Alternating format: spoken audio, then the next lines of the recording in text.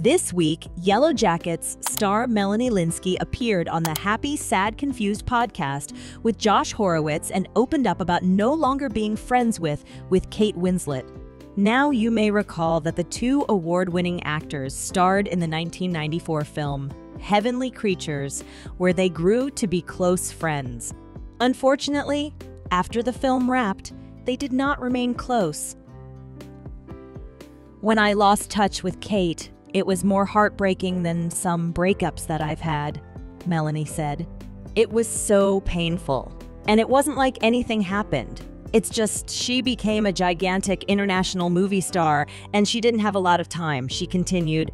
Then, suddenly, she'd be in Los Angeles and not have time when I was living here, Melanie said. It gradually happened. It happens in relationships. People kind of drift apart. But that was so painful for me and it happened a couple of times with other actors. Josh then asked if the two have crossed paths since.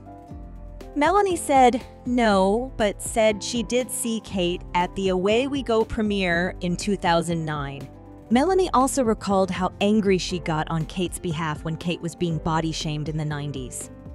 I know she's a very, very confident person, but everyone's sensitive and she's very sensitive and she's very sensitive.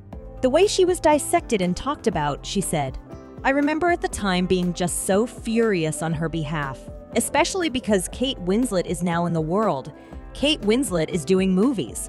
And you're getting to witness that talent. This is an actor who comes along once in a generation. Just focus on that.